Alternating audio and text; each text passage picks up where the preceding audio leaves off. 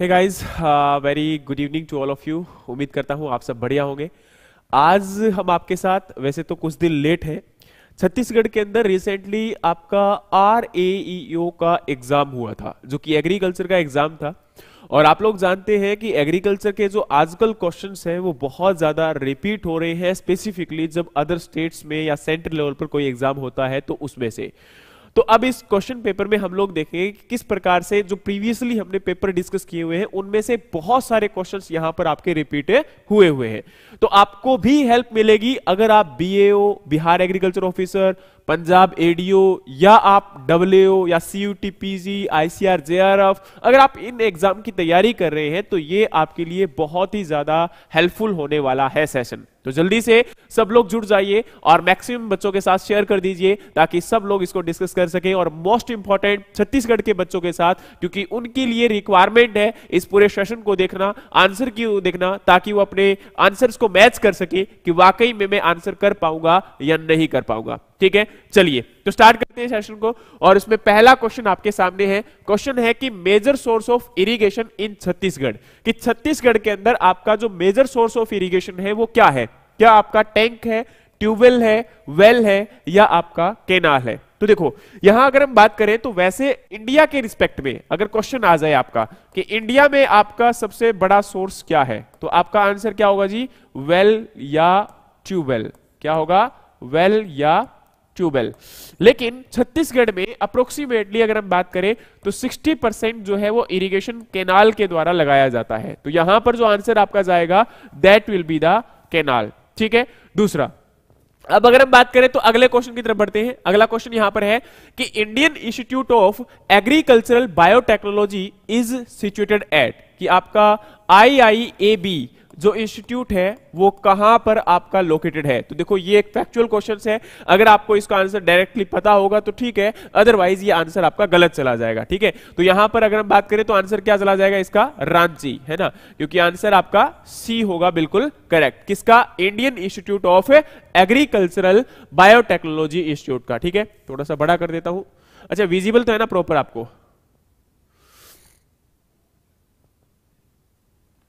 चलिए नेक्स्ट अगर हम बात करें तो आपका एक क्वेश्चन है यहाँ पर कि ईयर 2023 जो आपका है, वो किस ईयर के नाम से जाना जाता है? International Year of Biodiversity International Year of Forest International Year of Millets या फिर आपका International Year of Fibre Crop तो ये तो आपके लिए बहुत आसान है, क्योंकि 2023 को जो है इंटरनेशनल ईयर ऑफ़ मिलेट के नाम से घोषित किया गया था।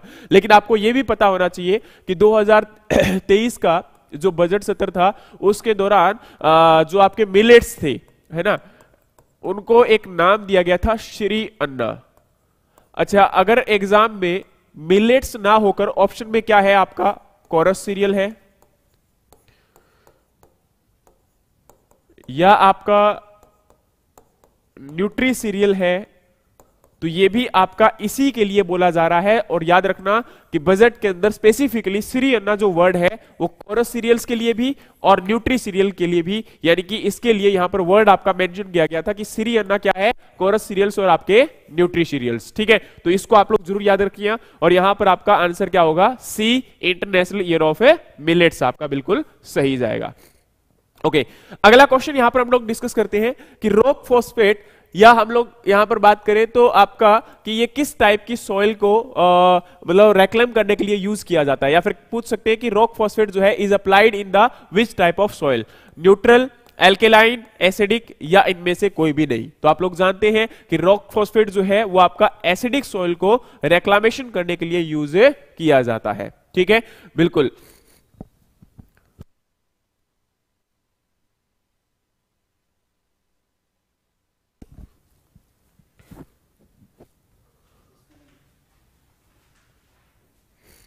नेक्स्ट आपका यहाँ पर है national what is the full form of N I B S M ठीक है? तो यहाँ पर आपका फुल फॉर्म पूछा गया है किसका? N I B S M तो देखो, पहला ऑप्शन है आपका National Institute of Biotic Stress Management दूसरा ऑप्शन है आपका यहाँ पर क्या? National Institute of Biological Species Management तीसरा ऑप्शन है आपका यहाँ पर National Institute of Bureau of salinity Management और चौथा ऑप्शन है जी National Institute of Beneficial Insect Species Management जल्दी से आंसर करो कि आपका यहाँ पर क्वेश्चन पूछा गया है कि फुल फॉर्म क्या होगा किसका? National Institute of Biotic Stress Management के लिए. कम ऑन आंसर करो यार. नहीं तो फिर मैं निकल जाऊँगा. करके आंसर आपको.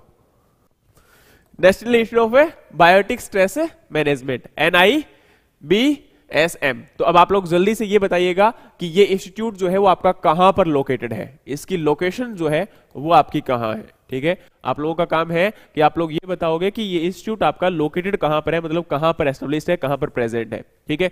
चलो, अगला क्वेश्चन है कि silver revolution is associated with. Silver revolution जो है वो आपका किसके साथ एसोसिएटेड है? तो देखो, फ़िश प्रोडक्शन के साथ क्या है आपका? ब्लू रेवोल्यूशन एसोसिएटेड है। वहीं पर अगर हम बात करें तो आपका जूट प्रोडक्शन के साथ आ, देखा जाए तो आपका गोल्डन फाइबर जो रेवोल्यूशन है वो क्या है इसके साथ? आपका एसोसिएटेड है। क्या है आपका?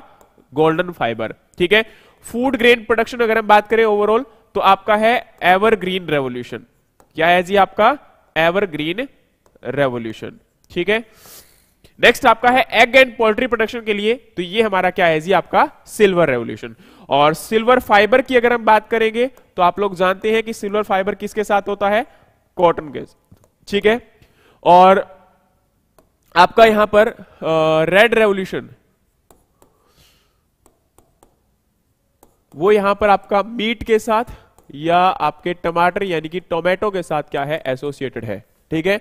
तो इस प्रकार से आपके एग्ज़ाम में क्वेश्चन से पूछ लिए जाते हैं। जी, बिल्कुल। बहुत बढ़िया। कम ऑन आपका अगला क्वेश्चन यहाँ पर है total oil seed production in India in 2021-22 India के अंदर 2021-22 में टोटल आपका जो है एग सॉरी जो ऑयल सीड कंटेंट है वो कितना होगा? बिल्कुल. पीयूष मीणा ने आंसर किया है कि सर एग प्रोडक्शन बहुत बढ़िया. और महर्षि राजखुश ने किया है cotton that is good okay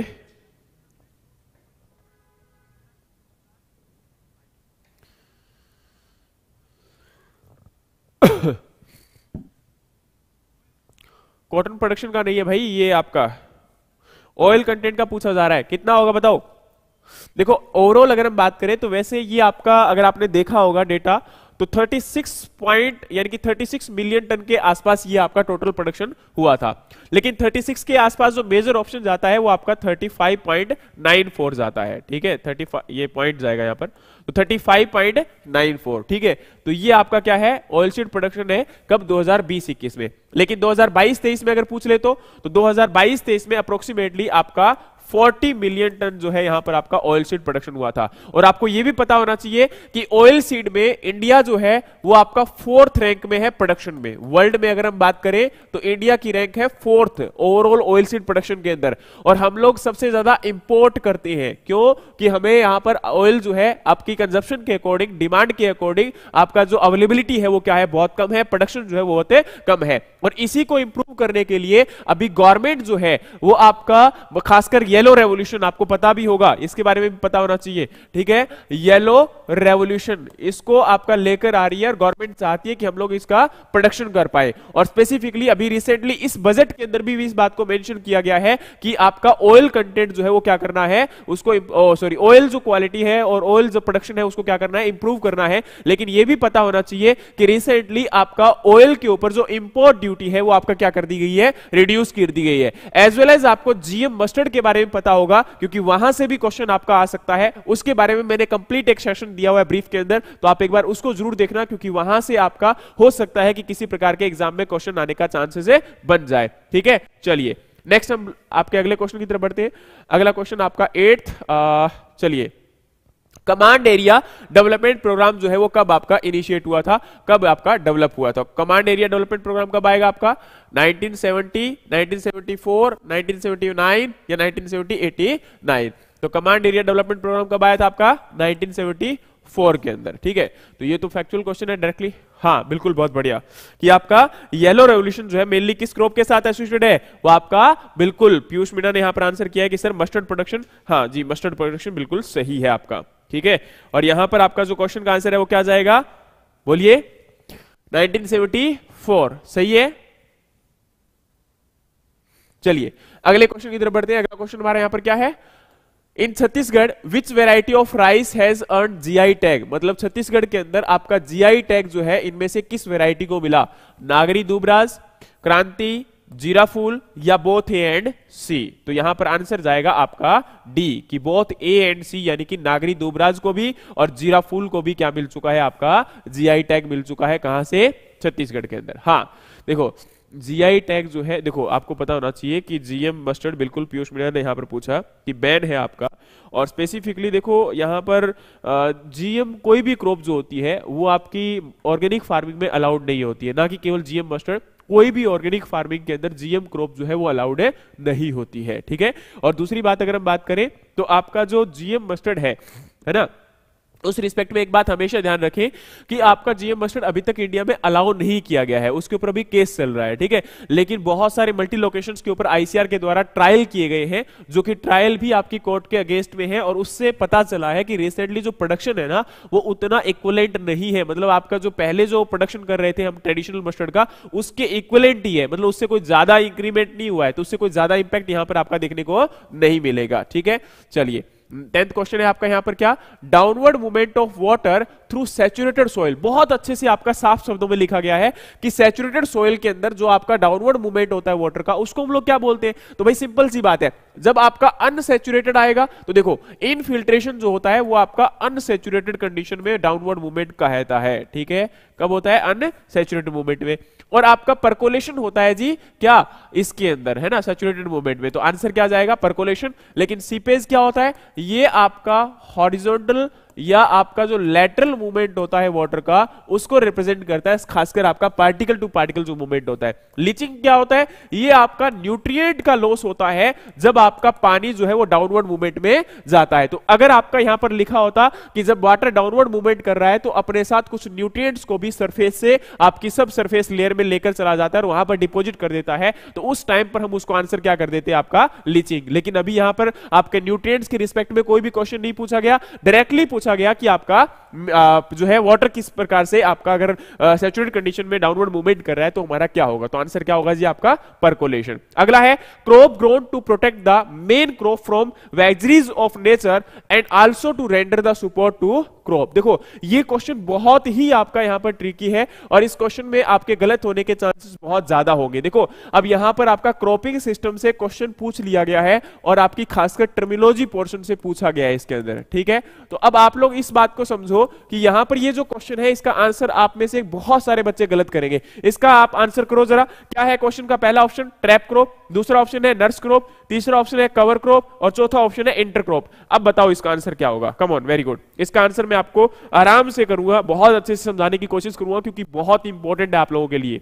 चलिए, अगर आपको कॉन्सेप्ट इनके क्लियर है, तब तो आप आराम से आंसर कर दोगे। अगर आपको कॉन्सेप्ट यहाँ पर क्लियर नहीं है तो डेफिनेटली आपके लिए प्रॉब्लम होगी। कम ऑन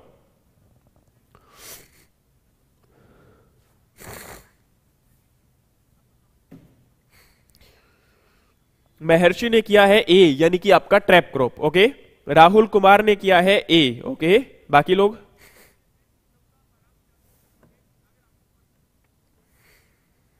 पीयूष मीणा ने किया है B okay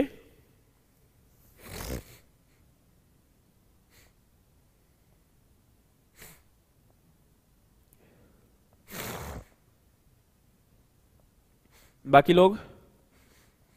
Santosh Sahu B Gurjeet Singh A. देखो भाई, ध्यान से सुनो। सबसे पहले हम लोग यहाँ पर पत्ता काटना स्टार्ट करते हैं किस किस का? देखो ट्रैप क्रॉप बिल्कुल नहीं हो सकता। क्यों नहीं हो सकता? ट्रैप क्रॉप को हम लोग यूज़ किस लिए करते हैं? इसको हम इसलिए यूज़ करते हैं क्योंकि ट्रैप क्रॉप जो होती है, वो मेनली आपके इंसेक्ट को या आपका जो पेस्ट है, उनको कंट्रोल करने के लिए, उनको ट्रैप करने के लिए हम लोग क्या करते हैं, इनको यूज़ करते हैं। तो ये आपका यहाँ पर जो है, इस प्रकार से नेचर के अंदर जो आपका, एक प्रकार से नेचर की एबनॉर्मलिटी जो होती है ना मतलब नेचर का यू कह सकते हो कि फॉर एग्ज़ाम्पल अगर कोई प्रॉब्लम आ जाए, एक क्रॉप फेल हो जाए, ठीक है तो उस केस में आपका किस प्रकार से हेल्प करेगी? तो यहाँ पर यह आपका ट्रैप क्रॉप इस प्रकार से हेल्प नहीं कर पाएगी। दूसरा आपका कवर क्रॉप को मैं काटूँगा। कवर क्रॉप को क्यों काटूँगा? क्योंकि कवर क्रॉप का मतलब ही क्या होता है कि सोयल का जो सरफेस इरोजन होता है, उसको क्या करना जी? कंट्रोल करना। मेन काम आपका कवर क्रॉप का ये होता है। तो ये भी बिल्कुल गलत है। लेकिन अब यहाँ पर मेन क्रॉप के साथ आप जब एक एडिशनल क्रॉप ग्रो करवाते हो और उसको आप यूज़ करते हो उस पर्टिकुलर क्रॉप को न्यूट्रिएटिव स्पोर्ट देने के लिए तो वहाँ पर आंसर जाता है जी आपका नर्स क्रॉप लेकिन आपका क्वेश्चन पूछा गया कि आपकी मेन क्रॉप को नेचर की जो एबनॉर्मलिटीज है, उससे बचाने के लिए और दूसरा, यहाँ पर सपोर्ट करने के लिए। तो इंटरक्रॉप इसीलिए तो होती है भाई साहब इंटरक्रॉप का काम क्या होता है कि मेन क्रॉप को सपोर्ट देना और अगर बाई चांस वो फेल हो जाती है तो उस केस में इंटरक्रॉपिंग आपको एक एडिशनल इनकम सपोर्ट देती है। तो यहाँ पर आपका जो आंसर जाएगा that will be the intercrop यहाँ पर कभी भी आंसर आपका नर्स क्रॉप नहीं जाएगा ट्रैप क्रॉप तो बिल्कुल आपको भूलना पड़ेगा, ठीक है? तो अगर आपने आंसर किया है डी तब तो है जी बिल्कुल सही। अदरवाइज़ आपका बी के केस में अगर आप आंसर कर रहे हो तो ये बिल्कुल गलत है, क्योंकि ये कहीं ना कहीं रिप्रेजेंट ही नहीं करता उस बात को जिस चीज़ का पूछा गया है यहाँ पर। तो इसीलिए मैंने बोला है कि इन छोटी छोटी चीज़ों का जो कॉन्सेप्ट होता है, वो आपके एग्ज़ाम में आएगा, और एग्ज़ाम में यही चीज़ आपको यहाँ पर कंफ्यूज करेगी, और हम लोग आंसर भी गलत करके आएँगे। इसका रीजन यही है, क्योंकि हम लोग पढ़ते तो हैं, लेकिन वाकई में जो एक्चुअल कॉन्सेप्ट है, वो हमारे आइडेंटिफिकेशन में नहीं होता, और फिर हम लोग गलती करके आ जाते हैं। अब मैक्सिमम बच्चों का क्लियर हो गया होगा ज़्यादातर बच्चों ने इस चीज़ को आइडेंटिफाई भी कर लिया होगा, लेकिन जब इस क्वेश्चन का आंसर किया था, तब हम लोग सब कहीं ना कहीं क्या थे? आप में से एक भी बच्चा ऐसा नहीं है जिसने यहाँ पर डी आंसर है किया हो, ठीक है? तो ये गलत बात है। चलिए। अगर आपका यहाँ पर अगले क्वेश्चन की तरफ़ बढ़े तो हमारा यहाँ पर क्या होगा? बारह नंबर क्वेश्चन यही है? ठीक है। Which of the following is a main objective of puddling in paddy कि आपका पडलिंग जो करते हैं पैडी के अंदर, उसका मेन ऑब्जेक्टिव क्या है? बहुत आसान क्वेश्चन है। पहला है कि इंसेक्ट और पेस्ट को डिस्ट्रॉय करना, बिल्कुल नहीं जी, ये गलत बात है। सोइल इरोजन को रिड्यूस करना, ये हो सकता है कहीं ना कहीं, लेकिन इससे पहले हमारे बाकी ऑप्शन को देख लेते हैं। Mix the fertiliser in soil बिल्कुल गलत बात है। Create an impermeable layer in the soil देखो क्या है कि अगर यहाँ पर कई बार क्या होता है ऑप्शन कुछ ऊट पटांग आ जाता तो अब उस केस में हमें मजबूरी बस इस क्वेश्चन को आंसर करना पड़ सकता था। लेकिन अगर हम यहाँ पर बात करें तो बिल्कुल भी नहीं, ये हमारा गलत जाएगा। और आंसर क्या जाएगा जी? कि आपका पडलिंग के द्वारा सब सरफेस लेयर में एक इम्प्रीमिएबल जो लेयर है वो क्रिएट हो जाती है और जिससे वाटर आपका जो है सरफेस लेयर से सब सरफेस लेयर में मूवमेंट नहीं करता है। और इसी प्रोसेस को हम लोग क्या बोलते हैं जी? आपका पडलिंग प्रोसेस इन है ना, पैडी। और दूसरी बात याद रखना पैडी के अंदर हम लोग बुशनिंग प्रैक्टिस भी करते हैं, लेकिन उसका मेन ऑब्जेक्टिव क्या होता है? वीड को रिमूव करना और आपका प्लांट के बीच में स्पेसिंग को मेंटेन करना। और आपका जब बुशनिंग कर देते हैं तो उसके सेवन टू टेन डेज़ के बाद हम लोग क्या करते हैं? खेलवा करते हैं, और खेलवा का मेन ऑब्जेक्टिव होता है क्या? कि इसके अंदर हमारा मेन ऑब्जेक्टिव ये होता है कि कहीं ना कहीं जो आपका एडिशनल प्लांट आपके रिमूव हो चुके थे, कुछ एक्स्ट्रा प्लांट आपके रिमूव हो चुके हैं, उनको दोबारा से ग्रो करवाना। ठीक है? चलिए। नर्स क्रॉप मोय मोय हो गया। देखो बेटा कॉन्सेप्ट को समझो यार। यहाँ पर ना कभी भी ये मत बोला करो कि जैसे फॉर एग्जांपल हम लोग, एक चीज़ मैं आपको बताता हूँ। कई बार क्या होता है, हम डिफेंड भी होते हैं। डिफेंड किससे होते हैं? जैसे फॉर एग्जांपल मैंने कोई आंसर किया और मैंने वो आंसर कर दिया जी नर्स क्रॉप और हमारे को मान के चलिए मैंने आपको यहाँ पर बता दिया जी कि आपका आंसर जो है वो इंटर क्रॉप होगा, ठीक है? अब देखो, आप बात को किसी को भी मतलब समझो यहाँ पर, लेकिन इस चीज़ को समझने की कोशिश करो कि वाकई में कॉन्सेप्ट क्या है। और वाकई में आपको जब स्टडी अगर आप करोगे ना तो डेफिनेटली इन बातों को समझना पड़ेगा, तभी आप एग्ज़ाम एक नहीं, दस निकाल पाओगे। लेकिन अगर हम इस चीज़ को मानने के लिए तैयार नहीं कि कॉन्सेप्ट क्या है तो फिर वो गलत बात है। और डिस्कशन में आना सीखो। डिस्कशन से ही ये चीज़ें आपकी क्लियर होंगी हमेशा। ठीक है? बिल्कुल। ठीक है? चलिए, अगला क्वेश्चन नहीं बेटा, मोए मोए नहीं। आप सीखने की कोशिश करो। गलती होती है मिस्टेक होती है मिस्टेक होनी है, उसी से हम लोग सीखेंगे। ठीक है? चलिए, अगला क्वेश्चन हमारा क्या है? Which of the following is a perennial weed अच्छा ये जो क्वेश्चन है ना, इसके अंदर मैं आपको बताता हूँ कि यहाँ पर आपका पहला ऑप्शन है प्लांटेगो स्पीसीज दूसरा ऑप्शन है कैनेडा थीसिल तीसरा ऑप्शन है साइप्रस रोटंडस चौथा आपका है वाइल्ड कैरेट तो इसमें से कहीं ना कहीं हमारा अगर हम बात करें तो आपका पेरिनियल वीड का एग्ज़ाम्पल पूछा गया है कि कौन सा होगा? अब आप लोग आंसर करो जल्दी से, फिर मैं इसके बारे में आपको बताता हूँ कंप्लीट ये, पूरा का पूरा.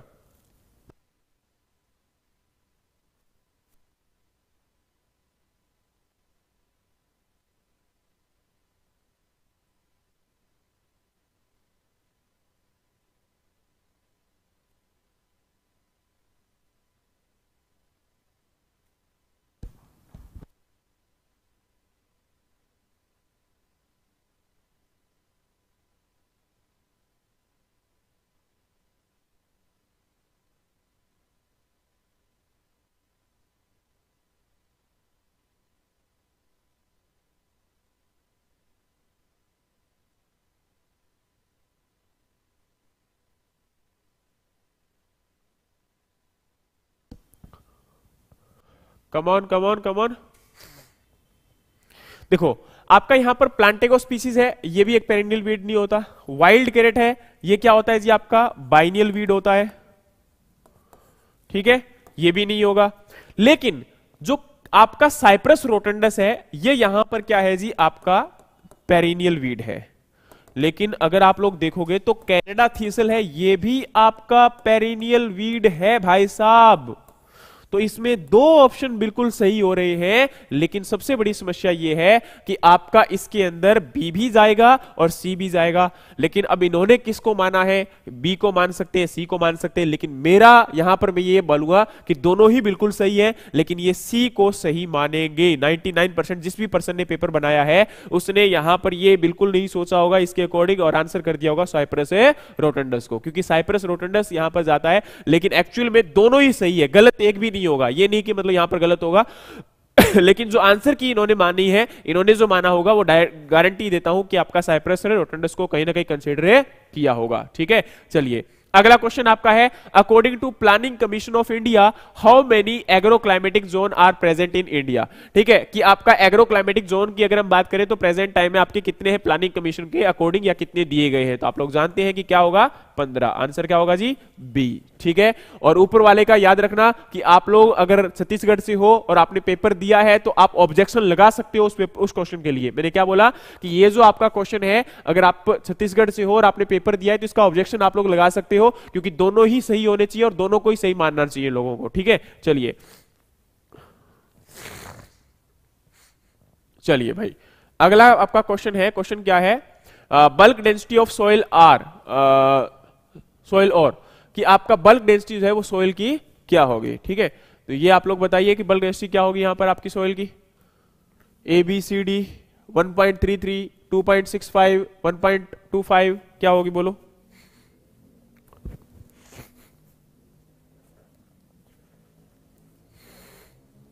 Come on Priya independent opinion Harsh Dhillon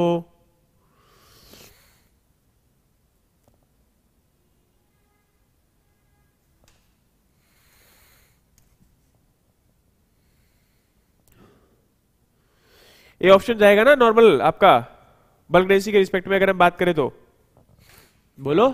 हाँ जी 1.33 बेटा कट ऑफ़ के बारे में बोलना थोड़ा सा मुश्किल है, अभी मैं बता सकता हूँ, लेकिन लास्ट में डिस्कस करेंगे, अभी पेपर डिस्कस करते हैं एक बार, ठीक है? चलिए तो ये क्या होगा आपका? ए अगर आपने ए किया है तो सही है अदरवाइज़ आंसर आपका गलत हो जाएगा, ठीक है? देखो नेक्स्ट आपका क्वेश्चन है which of the following is a parasitic weed on pearl millet pearl millet के अंदर आपका पैरासिटिक वीड कौन सा होगा? लोरेंथस स्पीसीज होगा ओरोबंग की स्पीसीज होगा, कस्क्यूटा होगा, स्ट्राइगा होगा। तो आंसर क्या होगा जी आपका? स्ट्राइगा डी है ना?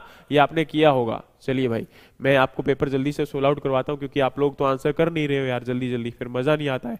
और कवर क्रॉप का आंसर क्या होगा जी यहाँ पर? Maize cowpea red gram all of the above बताओ भाई, पहले बताओ कि आंसर करने के लिए रेडी हो सब लोग? या फिर मैं आंसर बता दूँ जल्दी जल्दी से? फिर और तो क्या है? यही बढ़िया रहेगा।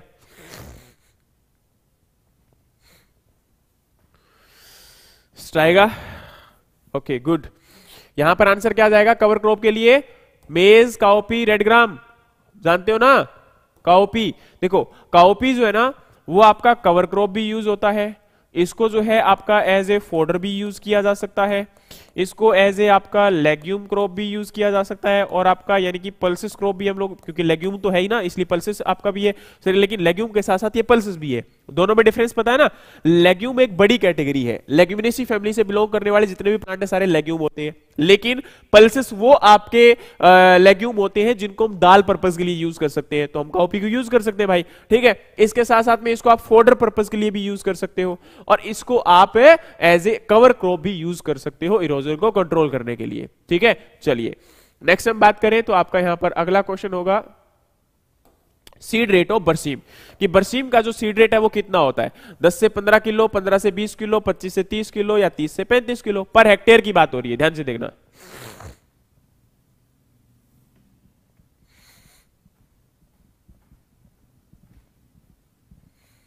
कमोन कमोन कमोन आपका यहाँ पर क्या होगा?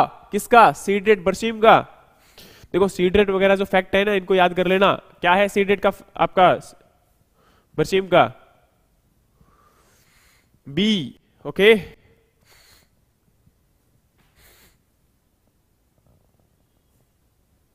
देखो इसका इन जनरल अगर हम बात करें तो बहुत सारे बच्चों ने 15 से 20 किया होगा, लेकिन ऑन एन एवरेज जो है, इसका कंसिडर किया जाता है कि 25 से 30 डिग्री 25 से 30 किलोग्राम जो है, वो आपका सही जाता है, ठीक है? इसमें ये जो आंसर है, अगर आईसीआर के बहुत सारे सोर्सेस आप लोग चेक करोगे तो उसमें मिलेगा, आपका सी बिल्कुल सही मिलेगा, ठीक है? लेकिन पर्टिकुलरली अगर आप लोग बात करोगे पंजाब, हरियाणा तो इसका सीड रेट थोड़ा सा कम डाला जाता है, ठीक है? तो ये आपका छत्तीसगढ़ के अकॉर्डिंग पेपर था तो उसमें पेपर का आंसर यहाँ पर क्या जाएगा? पच्चीस से तीस। लेकिन अगर आप कहीं ना कहीं बिलोंग करते हो कि कहाँ से आपका मतलब हरियाणा, पंजाब से तो डेफिनेटली ये आंसर आपका पंद्रह से बीस भी हो सकता है, ठीक है? तो उस केस में आप लोग ध्यान, थोड़ा सा ध्यान करना, ठीक है? लेकिन नॉर्मली जो है आपका हाँ। मेरी शिफ्ट में नहीं आया था तो भाई मेरे को पेपर एक ही मिला है ना? और मैं तो सच बताऊँ तो पेपर डिस्कस करने के लिए मुझे पता भी नहीं था। ये तो कल एक बच्चे ने पेपर भेजा कि, सर डिस्कस कर दो यार पेपर प्लीज़ है ना? तो मैंने कहा, चलो ठीक है भाई पेपर डिस्कस कर देते हैं, कोई प्रॉब्लम नहीं है, ठीक है? भेज दिया करो पेपर आप डिस्कस करने में कोई दिक्कत नहीं है। टाइम मिलते ही आपके साथ डिस्कस करेंगे पेपर्स को। ये एक अच्छी बात होती है। पेपर डिस्कस करने से आपके बहुत सारे पेपर में क्वेश्चन रिपीट होते हैं आपके आने वाले एग्ज़ाम में। देखो, अगला क्वेश्चन है what is the contingent crop planning contingent crop planning है वो आपका क्या होता है? इनमें से क्या होगा? ठीक है? तो आप लोग जानते हैं कि कंटीजेंट मतलब इमरजेंसी ठीक है? ये आपको अगर आप लोगों ने देखा होगा तो आपके YouTube के ऊपर क्वेश्चन हम लोग अपलोड करते हैं ना? तो अगर आपने देखा होगा तो कम्युनिटी पोस्ट के अंदर YouTube में क्वेश्चन ये रिसेंटली कुछ दिन पहले ही आपको डाला गया था, ठीक है? और कंट्री कंटीजेंट क्रॉप कौन सी क्रॉप होती है जी? कैच क्रॉप बोल सकते हो इसको आप लोग, या फिर आप इसको एमरजेंसी क्रॉप के नाम से भी जानते हो, ठीक है? और ये कब ग्रो करवाई जाती है? जब आपकी मेन क्रॉप जैसे फॉर एग्जांपल मैंने क्या किया? कॉटन को ग्रो करवाया था, और कॉटन को ग्रो करवाया था कब आपका? अप्रैल एंड में फॉर एग्जांपल ठीक है? अब देखो, मेरी कॉटन की क्रॉप जो है व्हाइट फ्लाई के अटैक के कारण अगस्त में क्या हो जाती है? फेल हो जाती है। लेकिन आपकी जो रबी क्रॉप है, वो ग्रो करवाई जाएगी एटलीस्ट मिनिमम अक्टूबर में। और यहाँ पर आपके पास दो महीने का टाइम बचा हुआ है। तो अब आप क्या करते हो? आप कोई शॉर्ट ड्यूरेशन की क्रॉप को ग्रो करवाते हो ताकि आपका जो एबनॉर्मलिटी हुई है वहाँ पर एनवायरमेंट की वजह से, उसको क्या कर सको आप जो है यूटिलाइज कर सको उस लैंड को। तो आप क्या करते हो? शॉर्ट ड्यूरेशन जैसे कि मूंगबीन वगैरह को ग्रो करवा देते हो तो ये जो क्रॉप आपकी लगाई जाती है इस टाइम पर, इसको यहाँ पर बोला जाता है कॉन्टीजेंट क्रॉप या कैच क्रॉप या एमरजेंसी क्रॉप और याद रखना, यहाँ पर change in crop normal crop planning to meet the weather abnormality change in normal crop planning to meet the market demand change in normal crop planning to the meet disease free period या none of the above तो यहाँ पर याद रखना answer जाएगा आपका weather abnormalities क्योंकि normally जो है इसके रिस्पेक्ट में आंसर जाता है ये। तो बिल्कुल सही क्या है? ऑप्शन ए ए बिल्कुल। ठीक है। ओके okay, नेक्स्ट आपका अगला क्वेश्चन है वो among the following is the known as father of agronomy अरे, बहुत डिफ़िकल्ट क्वेश्चन पूछा है। आंसर क्या होगा? पीटर दे क्रेसन जी ये तो आपने किया दिया होगा ना। इसमें तो सोचा ही नहीं होगा आपने। नेक्स्ट आपका है which soil require the frequent irrigation with low depth of water पर इरिगेशन मतलब क्या है? आपका फ्रीक्वेंट इरिगेशन लेकिन वो भी साथ में लो डेप्थ सिंपल सी बात है फ्रीक्वेंट इरिगेशन कॉन्टिन्यूस इरिगेशन किस इरिगेशन में करना पड़ेगा? लाइट सॉइल के अंदर. अब इनमें से सबसे लाइट जो है, वो आपका आंसर चला जाएगा. अब सबसे लाइट क्या होगा? क्या होगा? क्ले लाइट है क्या? तो क्ले लोम उससे भी लाइट है. आपका यहाँ पर सिल्टी, ये उससे भी लाइट है, लेकिन सैंडी ये तो सबसे लाइट है तो आंसर आपका डी चला जाएगा, ठीक है? और इन केसेस में यहाँ पर सबसे बड़ी समस्या यहाँ आ जाती है, जब आपका ऐसा ऑप्शन आ जाता है। जैसे फॉर एग्ज़ाम्पल अगर हम बात करें तो आपने कई बार देखा होगा कि यहाँ पर लिखा हुआ है सैंडी लोम या आपका लोमी सैंड तो इन केसेस में जो आंसर है, वो आपका सही किसके लिए जाएगा? जो यहाँ पर आपकी, देखो सैंड जिसके आगे लिखा होता है, उसमें हमेशा सैंड कंटेंट ज़्यादा होगा, वो लाइट सोइल ज़्यादा होगी। तो इसके रिस्पेक्ट में इसमें सैंड कंटेंट ज़्यादा है और आपका यहाँ पर जो है क्ले कंटेंट क्या है आपका? ज़्यादा है, ठीक है? चलिए तो ये आपका आंसर क्या जाएगा? सैंडी ठीक है? चलिए। अगला क्वेश्चन है which of the following is not a method of measurement of soil moisture कि इनमें से सॉइल मॉइस्चर मेज़रमेंट का मेथड कौन सा नहीं है तो देखो आपका टेंशियोमीटर क्या होता है सॉइल मॉइस्चर मैनेजमेंट का मेज़रमेंट का मेथड होता है आप लोग जानते भी हैं ठीक है हाँ बिल्कुल बिल्कुल देखो यहाँ पर अगर हम बात करें तो आपका सोयल मॉइस्चर मेज़रमेंट का क्या है टेंसीमीटर मेथड होता है आप लोग जानते होंगे कि ये 0.85 बार तक क्या करता है आपका वर्क करता है और ये भी पता होगा कि ये आपका क्ले सोयल में काम है नहीं करता है, ठीक है? नॉर्मली लाइट सोल में हम इसको यूज़ करते हैं। अच्छा ग्रेविमेट्रिक क्या होता है? ग्रेविमेटर भी आपका एक इंपॉर्टेंट मेथड है किसका जी? आपका सॉइल मॉइस्चर मेज़रमेंट का। यहाँ पर अगर हम बात करें तो इलेक्ट्रिकल रेजिस्टेंस ये भी आपका यहाँ पर मेथड होता है। तो ये तीनों क्या है आपके मेथड हैं? लेकिन लाइसीमीटर अब लाइसीमीटर इस पर्पज के लिए यूज़ नहीं करते। आपका आंसर में कमेंट करो कि ये आपका किस पर्पज के लिए यूज़ किया जाता है? तो यहाँ पर जो आंसर है वो क्या होगा आपका? बिल्कुल बी होगा कि जो आपका सॉइल मॉइस्चर मेज़रमेंट के लिए यूज़ नहीं करते। लेकिन आप लोग आंसर करके बताओ कि लाइसीमीटर का पर्पज जो होता है वो क्या होता है? आपके फ़ील्ड में हम लोग क्यों यूज़ करते हैं इसको? ठीक है? चलो, अगला क्वेश्चन है porosity of clay soil usually range from कि आपका पोरोसिटी जो है क्ले सोइल के अंदर, वो किस रेंज में किस परसेंटेज रेंज में बिलोंग करता है आपका? कि 10 से 20 परसेंट में 20 से 30 परसेंट में 40 से 60 में, या आपका 60 से 80 में? जल्दी से आंसर करो भाई।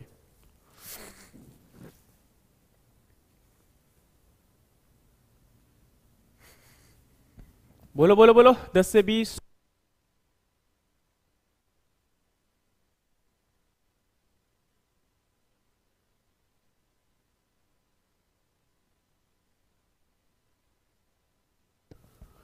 तो आपका यहाँ पर अगर हम बात करें क्वेश्चन बताओ जल्दी से। बहुत बढ़िया। इवेपो ट्रांसपीरेशन के लिए हम लोग यूज़ करते हैं किसको? आपका लाइसीमीटर को। दैट इज़ गुड थिंग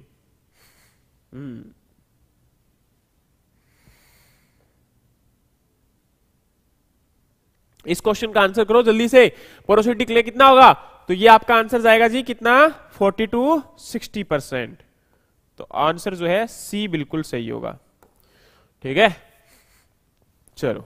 अगला क्वेश्चन आपका यहाँ पर आंसर क्या है? अगला क्वेश्चन है जी quarter time rule is associated with तो क्वार्टर टाइम रूल जो होता है, वो एक्चुअली में फोरो इरिगेशन के साथ एसोसिएटेड होता है। ठीक है? किसके साथ एसोसिएटेड होगा जी आपका? फोरो इरिगेशन अगला यहाँ पर क्वेश्चन है, mole drain are used in? Mole drain जो है किसमें यूज़ करेंगे? सरफेस में, बायो ड्रेनेज में, लाइट सॉइल में या आपका हैवी सॉइल में? तो देखो भाई साहब, आप लोग जानते होंगे कि मोल ड्रेन जो होता है, इसमें हम लोग क्या करते हैं? मोल प्लो का यूज़ करते हैं। और मोल प्लो को एक डेफ्थ के साथ आपके लैंड को प्लो करने का काम किया जाएगा। और ये अप्रोक्सीमेटली बोला जाता है कि 15 टू 20 इयर्स तक हमें वहाँ पर करने की रिक्वायरमेंट नहीं होती है। और ये एक प्रकार से टेम्परेरी आपका जो है ड्रेनेज करने का एक इंपॉर्टेंट मेथड कंसिडर किया जाता है। तो यहाँ पर एक चीज़ याद रखना कि जो मोल ड्रेनेज मेथड है, वो आपका हैवी सॉइल यानी कि क्ले सॉइल में क्या किया जाता है, इसको यूज़ किया जाता है। ठीक है? ये आपका मोल ड्रेनेज समझ में आ गया? जी, बिल्कुल। अगला यहाँ पर आपका क्वेश्चन क्या है?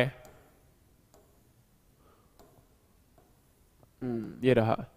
ये आपका यहाँ पर जो है C G S W M A तो ये आपका Chhattisgarh state watershed monitoring authority के नाम से इसको जो है आप कंसिडर कर सकते हो। ये बिल्कुल आपका सही होगा। ठीक है?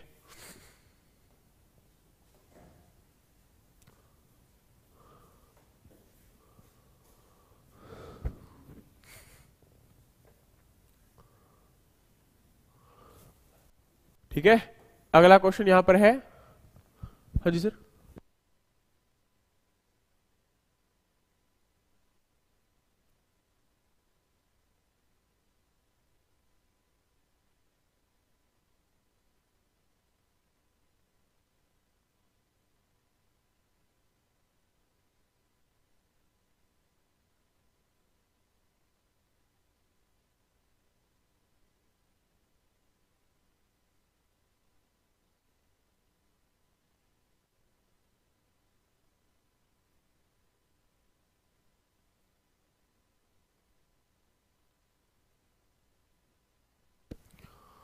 सॉरी माफ़ी चाहता हूँ। चलिए। तो मैंने क्या बोला? यहाँ पर आपका लास्ट क्वेश्चन क्या था? ये छत्तीसगढ़ वाला। ये क्या है? अच्छा और यार मॉनिटरिंग नहीं आएगा। ये आपका ए गलत होगा सी सॉरी ठीक है? मैंने ये बता दिया था ना जल्दी में। मैनेजमेंट एजेंसी आएगा मॉनिटरिंग अथॉरिटी नहीं आएगा। ठीक है? ये आपका सी सही है इसमें। ठीक है? चलो जी। नेक्स्ट आपका अगर हम बात करें तो ये क्वेश्चन था। ये वाटर यूज़ एफिशिएंसी के रिगार्डिंग है भाई। देखो वाटर यूज़ एफिशिएंसी के अकॉर्डिंग अगर बात करें तो इसमें क्या होगा आपका यहाँ पर? जो है वाटर यूज़ एफिशिएंसी को निकालने का तरीका आप लोग जानते होंगे yield upon total water requirement तो उसके अकॉर्डिंग हमारा जो आंसर जाएगा, यहाँ पर क्या जाएगा? 50 kilogram per hectare per M ठीक है? ये अगर आपने किया है तो बिल्कुल सही है अदरवाइज़ आंसर आपका गलत होगा। नेक्स्ट आपका यहाँ पर है, अगला question the value of surface resistance for the reference surface as defined as the FAO methodology तो ये आपका जो है इसका आंसर क्या जाएगा? ए यानी कि 70 एस एम आपका इसके ऊपर यहाँ पर एक्चुअल में ये नहीं लगा हुआ था, लेकिन ये यहाँ पर आपका आएगा। ठीक है? इसको आप लोग याद रख सकते हो। कम ऑन क्या आंसर किया इसका? हाँ बिल्कुल। अगला यहाँ पर आपका है question which is rainy cloud तो रेनी क्लाउड जो होता है वो आपका निम्बो स्टेटस होते हैं। कौन से होते हैं जी आपके? निम्बो स्टेटस ठीक है? अगले क्वेश्चन की तरफ़ बढ़ता हूँ। अगला क्वेश्चन है which greenhouse gas is linked with the rice crop कि राइस क्रॉप के साथ इनमें से कौन सी ग्रीन हाउस गैस है? यहाँ पर लिंक्ड होती है मतलब उसमें से निकलती है। क्या नियोन निकलती है? जेनोन निकलती है? आर्गोन निकलती है? या मिथेन निकलती है? तो आप लोग जानते होंगे कि वैसे भी एनोरोबिक कंडीशन के अंदर मिथेन गैस जो है, वो आपकी क्या होती है? रिलीज़ होती है। और ये आपकी मिथेन यानी कि सी जो है, वो एक इंपॉर्टेंट यहाँ पर ग्रीन हाउस गैस है। ठीक है? लेकिन इसके साथ साथ राइस के फ़ील्ड से एक और गैस निकलती है that is the nitrous oxide, ठीक है? ये भी याद रखना। कई बार यहाँ से भी क्वेश्चन आपका आ सकता है कि जो नाइट्रस ऑक्साइड है, वो आपकी एक इंपॉर्टेंट गैस है जो कि, सॉरी, नाइट्रस ऑक्साइड, माफ़ी चाहता हूँ। ठीक है? जो कि एक इंपॉर्टेंट गैस है, कहाँ से निकलती है आपकी? जो है राइस के फ़ील्ड से। ठीक है? चलो, डन। अगले क्वेश्चन पे बढ़ते हैं। अगला क्वेश्चन यहाँ पर क्या है? The wind vane is to determine कि विंड वेन जो है वो आपकी क्या हेल्प करती है, क्या डिटरमाइन करने में? देखो विंड स्पीड जो है वो हम लोग किससे मेजर करते हैं जी आपका? एनिमोमीटर से। ठीक है? विंड प्रेशर जो होता है वो आपका किससे मेजर किया जाता है जी आपका? बैरोमीटर से। विंड डायरेक्शन जो होती है हम लोग किससे मेजर करते हैं जी आपका? विंड वेन से, ठीक है? तो विंड स्पीड के लिए एनिमोमीटर विंड प्रेशर के लिए आपका बैरोमीटर और हम लोग मेजर करते हैं जी wind direction that is the with the help of a आपका विंड डायरेक्शन ठीक है? चलिए नेक्स्ट आपका प्रोसेस है the process of seed drying is important to maintain its कि आपका सीड ड्राइंग जो प्रोसेस होता है, वो इंपॉर्टेंट होता है आपकी वायबिलिटी और विगर को मेंटेन रखना। क्योंकि देखो, वहाँ पर protein content oil content chemical composition ठीक है? वैसे तो अगर हम बात करें तो ओवरऑल हमारी सीड की क्वालिटी मेजर होनी चाहिए। लेकिन आप लोग जानते होंगे कि सीड अगर प्रॉपर आपका ज़िंदा होना चाहिए और उसकी ओवरऑल हेल्थ के ऊपर कोई नेगेटिव इंपैक्ट आपका नहीं पड़ना चाहिए। तो यहाँ पर यह चीज़ हमेशा ध्यान रखें। कि जब सीड की ड्राइंग की जाती है तो उस टाइम पर उसके अंदर किसी भी प्रकार से आपका इफ़ेक्ट नहीं पड़ना चाहिए। तो यहाँ पर क्या होगा कि वायबिलिटी और जो विगरनेस होती है सीड की, उसके ऊपर कोई भी नेगेटिव इंपैक्ट आपका ना पड़े। ठीक है? चलिए। अगला आपका यहाँ पर क्वेश्चन है जी।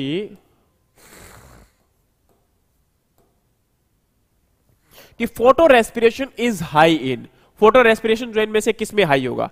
मेज में हाई होगा शुगर केन में होगा पाइनएपल में होगा राइस में होगा। तो थोड़ा सा ध्यान करो। बाकी सारे क्या है आपके? सी फोर प्लांट है। लेकिन राइस आपका कैसा प्लांट है जी? सी थ्री प्लांट है। ठीक है? और सी थ्री प्लांट में आप लोग जानते होंगे कि फ़ोटो रेस्पिरेशन जो होता है वो आपका ज़्यादा देखने को मिलता है। और अभी तक फ़ोटो रेस्पिरेशन का कोई वेल नॉन आइडेंटिफाइड मतलब इसका जो इफ़ेक्ट है वो नहीं देखा गया, लेकिन ये माना जाता है कि नेगेटिव इंपैक्ट जो है वो आपका देखने, क्योंकि इसमें एनर्जी ज़्यादा लॉस होती है एक प्रकार से, ठीक है? तो आपका फ़ोटो रेस्पिरेशन किसमें होता है जी? सी प्लांट में। और यहाँ पर आंसर क्या है आपका? डी राइस आपका, ठीक है? चलो जी। अगला है Kranz type of anatomy again आपके सी फोर प्लांट में होती है आपकी, ठीक है? तो यहाँ पर सनफ्लावर सोयाबीन सोरगम स्पाइनेक तो इनमें आपका जो सी फोर प्लांट है वो क्या है? सोरगम है। तो आंसर यहाँ पर क्या चला जाएगा? सी चला जाएगा, ठीक है? ये भी आपका बिल्कुल सही है।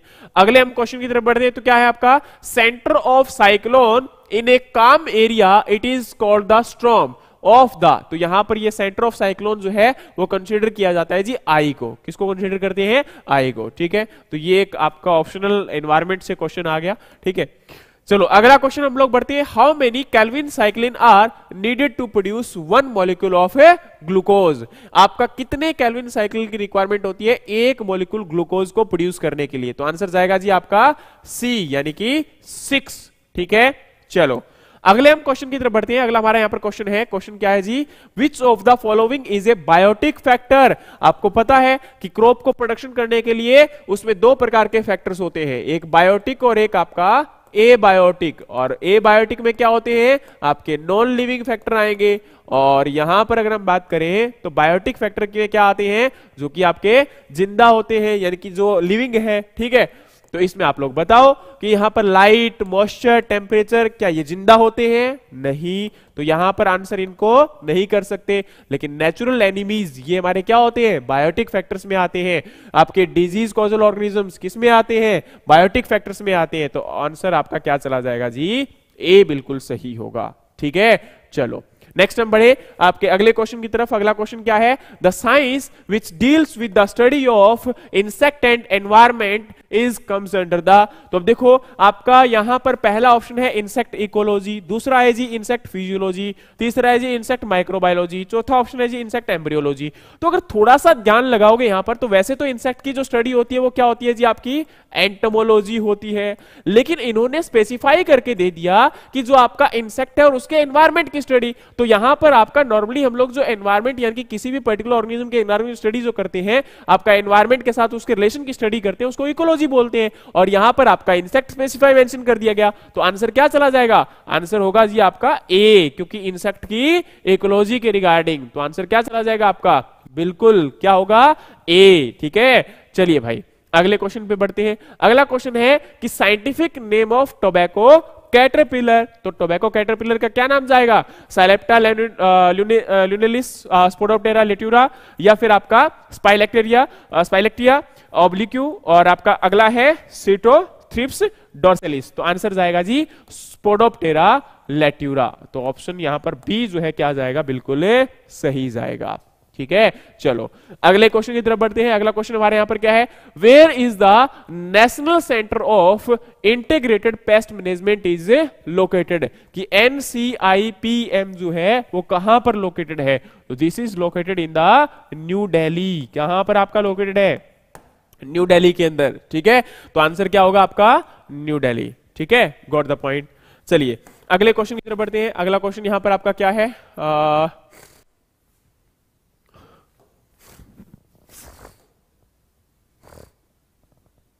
हाँ ये रहा। Which of the following is the damaging stage of insect pest fall army worm तो देखो फॉल आर्मी वर्म का मैंने पूरा वीडियो आपके इंस्टाग्राम के ऊपर प्रोवाइड करवाया हुआ है। और उसमें आप लोग देख रहे होंगे कि फॉल आर्मी वर्म किस प्रकार से अटैक कर रहा है, लेकिन उसमें जो इंसेक्ट का अटैकिंग पार्ट है, यानी कि सॉरी अटैकिंग जो स्टेज है, वो कौन सी है आपकी? लार्वा है, ठीक है? तो बहुत बढ़िया। तो आंसर यहाँ पर क्या जाएगा आपका? बी ठीक है? तो इसीलिए बोलता हूँ कि विजुअल यानी कि जब भी आप लोगों को मौका मिले किसी चीज़ को प्रैक्टिकली देखने का तो उसको देखा करो, क्योंकि वो आपके लॉन्ग टाइम तक मेमोरी में याद रहता है, याद रखने का काम आता है आपका, ठीक है? चलिए, बहुत बढ़िया, ठीक है? चलिए, अगले क्वेश्चन की बढ़ते हैं, अगला क्वेश्चन यहाँ पर क्या है? Control of insect pest by use of entomopathogenic bacteria fungus virus and protozoa is known as यानी कि यहाँ पर क्या है? कि हम लोग जब आपके इंसेक्ट और पेस्ट को कंट्रोल करते हैं, किसके द्वारा? एंटोमोपैथोजेनिक बैक्टीरिया के द्वारा फंगस के द्वारा वायरस के द्वारा या प्रोटोजोआ के द्वारा तो वो क्या होगा? कल्चरल कंट्रोल नहीं तो इसमें हम कल्चरल प्रैक्टिस को अडॉप्ट करते हैं तो ये तो गलत हो जाएगा। हमारा मैकेनिकल कंट्रोल जो फिजिकली उसको कंट्रोल किया जा रहा है तो वो बात हो रही है तो ये भी गलत हो जाएगा। केमिकल में हम लोग केमिकल यूज़ करते हैं तो ये भी गलत होगा। माइक्रोबियल कंट्रोल बिल्कुल सही है। बायोलॉजिकल कंट्रोल बोलो या फिर आपका माइक्रोबियल कंट्रोल बोलो भाई साहब, ये तो हमारा आंसर क्या जाएगा? माइक्रोबियल कंट्रोल तो अगर आपने डी किया है तो बिल्कुल सही है। अदरवाइज़ आंसर आपका गलत हो जाएगा, ठीक है? चलो, अगले क्वेश्चन इधर पढ़ते हैं। Which of the following is egg laying site of pigeon pea pod fly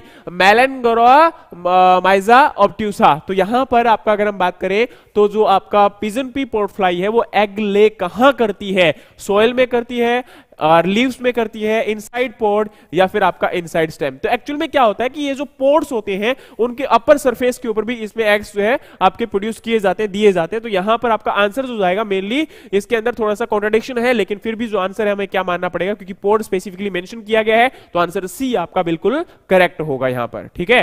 तो इस क्वेश्चन में आपका आंसर जो है वो क्या होगा? सी फोर्टी में।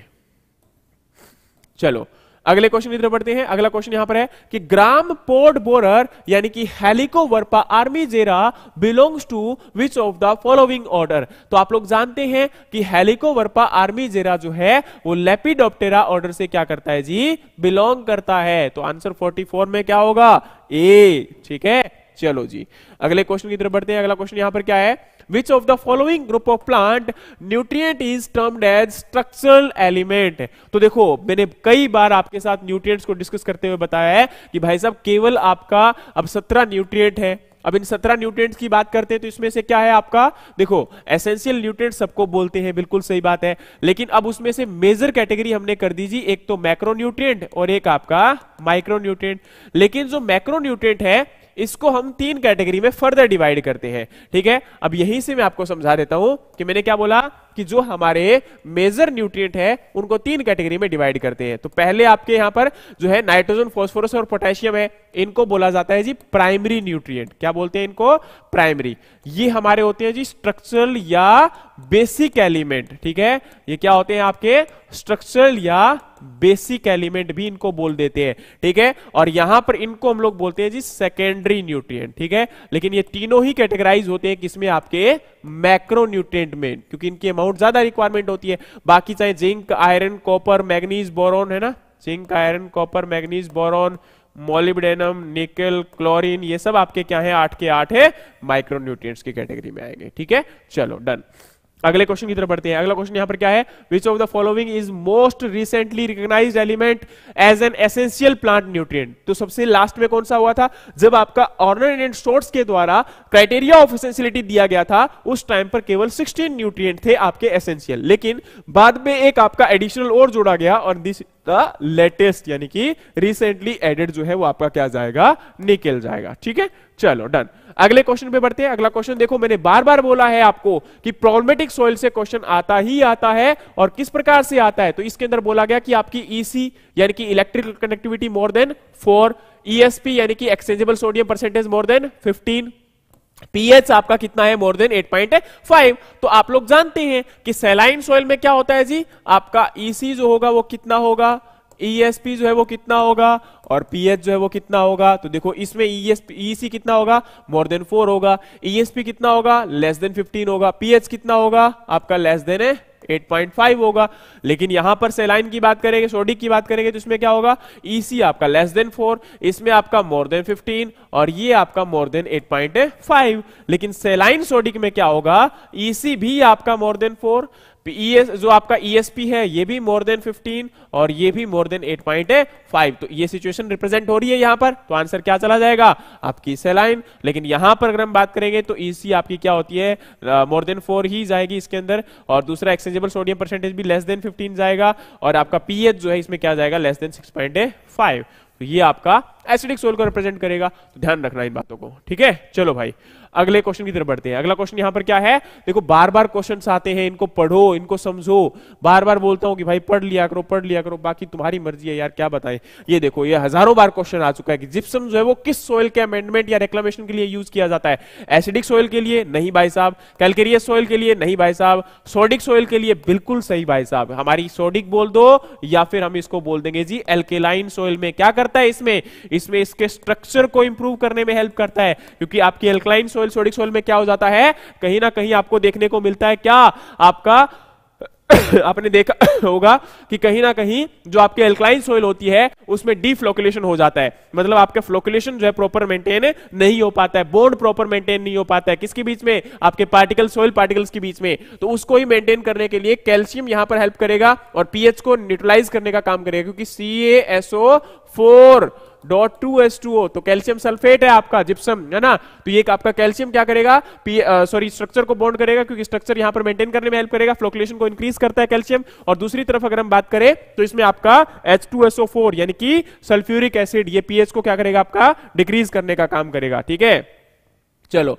नेक्स्ट आपका है phosphorus fixation will be more in which type of soil तो फॉस्फोरस फिक्सेशन जो है वो आपका हैवी सॉइल में ज़्यादा होता है। तो अब हैवी सॉइल कौन सी है? सैंडी लोम है सिल्टी लोम है लोमी है क्ले है। तो सिंपल सी बात है क्ले सॉइल आपकी क्या होती है? हैवी सॉइल होती है। तो आंसर क्या चला जाएगा आपका? डी भाई साहब। अगले क्वेश्चन की तरफ़ बढ़े तो अगला क्वेश्चन क्या है? Which one of the following is the lightest texture of soil इनमें से सबसे ज़्यादा हल्का टेक्चर कौन सा सॉइल का? Sandy loam loamy sand silty loam silt clay loam अभी बताया था मैंने। जब आपका यहाँ पर सैंड इसको क्या कर रहा है, आगे यानी कि इसको एक प्रकार से लीड कर रहा है तो यहाँ पर आंसर क्या जाएगा? आपका सैंडी लोम और लोमी सैंड के रिस्पेक्ट में आंसर जो है, आपका सैंडी कंटेंट ज़्यादा होगा इसमें, और यही आपका क्या होगा? लाइटेस्ट टेक्चर तो टोटल बारह टेक्चर है आपके क्लासेस के, उनको अच्छे से देखो, पढ़ा करो भाई। उसके अंदर कई बार पूछ लेते हैं कि आपका कितना परसेंटेज है, और कई बार पूछ लेते हैं कि कौन सा लाइट है, और यहाँ पर ये इजी क्वेश्चन की फॉर्मेट में हम लोग आंसर मैक्सिमम ले सकते हैं, ठीक है? चलो।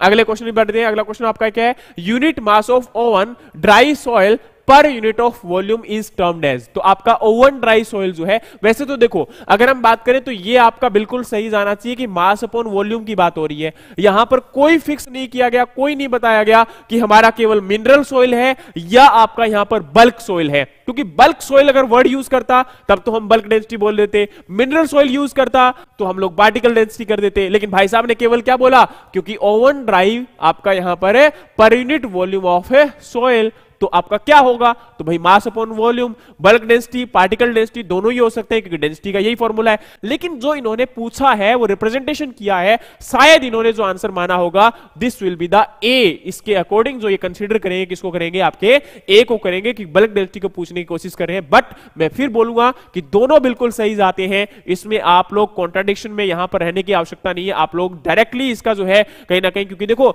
साफ़ बोला होता कि भाई इसके अंदर मिनरल सोयल है, या फिर यूँ बोला होता कि भाई आपकी सोइल जो है, वो विदाउट एयर है। तब तो हम इसको बोल सकते थे कि भाई आपका ये मिनरल आपका पार्टिकल आएगा। लेकिन अब किस बिहाफ पर बोले कि किसके बारे में बात हो रही है? तो नॉर्मली जो सोयल के बारे में बोला जा रहा है तो आपका आंसर बल्क डेंसिटी जाएगा, क्योंकि सोयल के अंदर स्पेसिफाई नहीं किया गया कि एयर को रिमूव किया गया कि नहीं किया गया। तो आपका आंसर क्या होगा? आपका पार्टिकल डेंसिटी नहीं होगा बल्क डेंसिटी होगा, और ये नाइनटी नाइन हंड्रेड परसेंट इसी को मानेगा आपका आंसर ठीक है?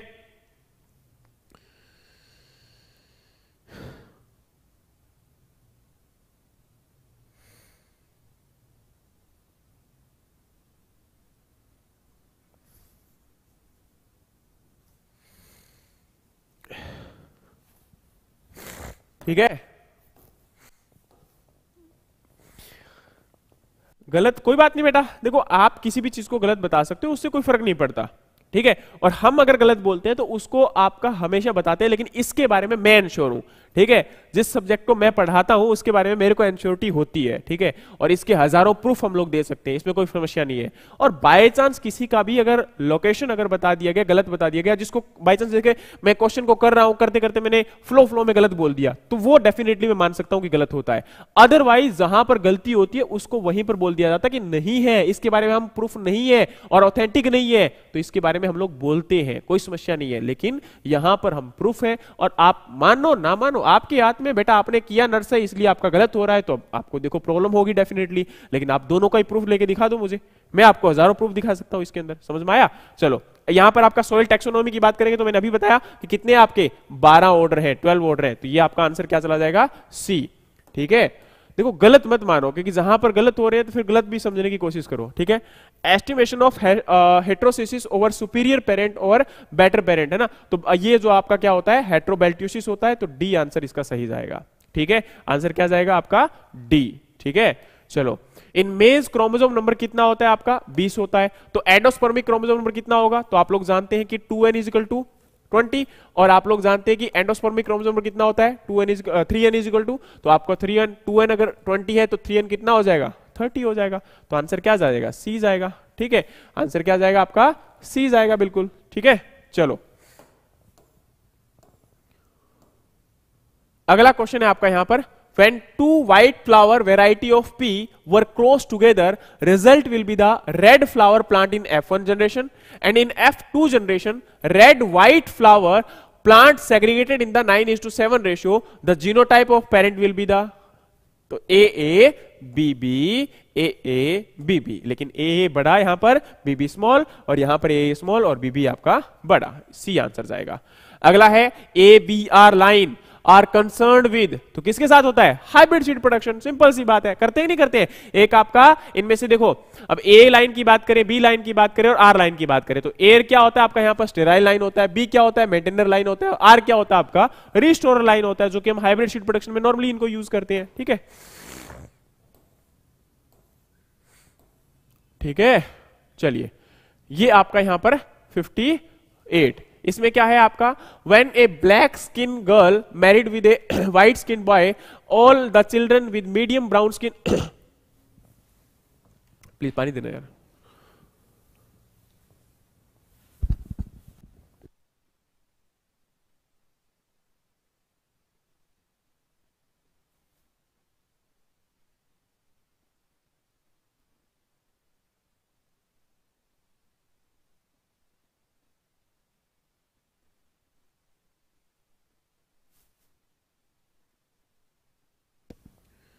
हाँ। तो इसमें यहाँ पर आपका आंसर करो। देखो, इसमें आंसर जो है, हमारी तरफ़ से अभी तक कोई कंफर्मेशन नहीं है। इसमें अभी आपका आंसर आपको देखना पड़ेगा, ठीक है? अभी तक हमारी तरफ़ से इसमें कोई भी आंसर आपका कंफर्म नहीं है कि क्या होगा, ठीक है? तो इसमें मैं आपको अभी कोई भी आंसर नहीं लगवाऊँगा। अगला क्वेश्चन आपका है A B C D DNA show क्या आपका राइट हैंड कॉइलिंग शो करेगा लेफ़्ट हैंड को करेगा नो कॉइलिंग करेगा या पार्शियल कॉइलिंग करेगा? तो आंसर क्या जाएगा जी इसका आपका? बी यानी कि राइट हैंड कॉइलिंग ठीक है? ये आप लोग ज़रूर याद रखिएगा। हाँ बिल्कुल। राइट हैंड ठीक है? चलो, अगले क्वेश्चन की तरफ़ बढ़ते हैं। When a purine is replaced by another purine और a pyrimidine is replace by another pyrimidine देखो, जब आपका इस प्रकार से आए कि प्यूरिन प्यूरिन को रिप्लेस कर रहा है और पिरिमिडिन पिरिमिडिन को रिप्लेस कर रहा है तो हमेशा ध्यान रखना कि यहाँ पर जो आपका ये जाएगा तो वो ट्रांजिशन होता है। लेकिन अगर आपका प्यूरिन पिरिमिडिन को सॉरी प्यूरिन पिरिमिडिन को रिप्लेस करे और पिरिमिडिन प्यूरिन को रिप्लेस करे तो वो आपका ट्रांसवर्जन हो जाएगा। तो इसमें जो आपका पूछा गया है, वो आपका प्यूरिन प्यूरिन और पिरिमिडिन पिरिमिडिन पूछा गया है। तो आंसर क्या जाएगा आपका? ट्रांजिशन जाएगा, ठीक है? ना कि आपका ट्रांसवर्जन तो ट्रांसवर्जन किस केस में जाता है आपका यहाँ पर? जी।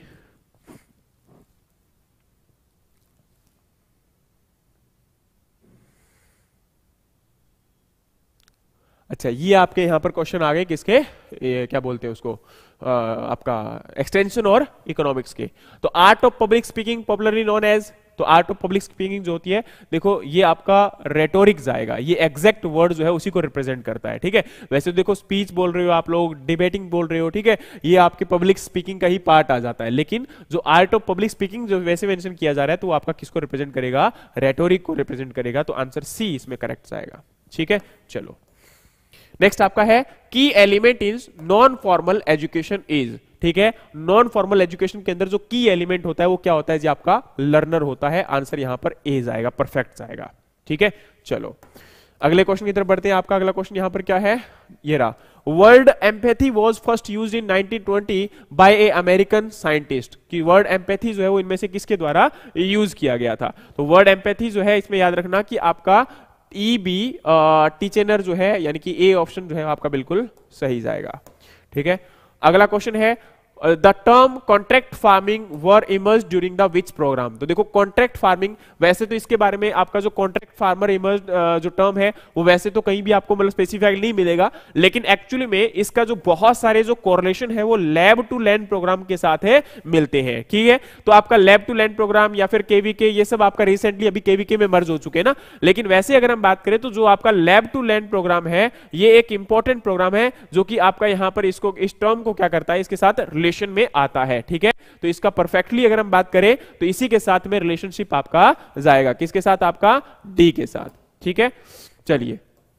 अगला क्वेश्चन हम देखें तो यहाँ पर है मेजर ऑफ़ गुडनेस और डिजायरेबिलिटी आल्सो नोन एज कि आपका मेजर जो है यहाँ पर किसका? गुडनेस या डिजायरेबिलिटी जो होता है, वो किसके साथ करेगा? लो के साथ टेबूज के साथ रिचुअल के साथ, या आपका वैल्यूज़ के साथ? तो आप लोग जानते हैं, ये तो वैल्यूज़ रिप्रेजेंट करेगा साफ़ यहाँ पर। इसमें तो सोचने की आवश्यकता भी नहीं है, ठीक है? तो किसको रिप्रेजेंट करेगा आपका ये? वैल्यूज़ ठीक है?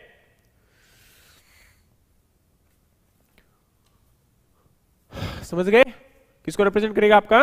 वैल्यूज़ को हाँ बिल्कुल।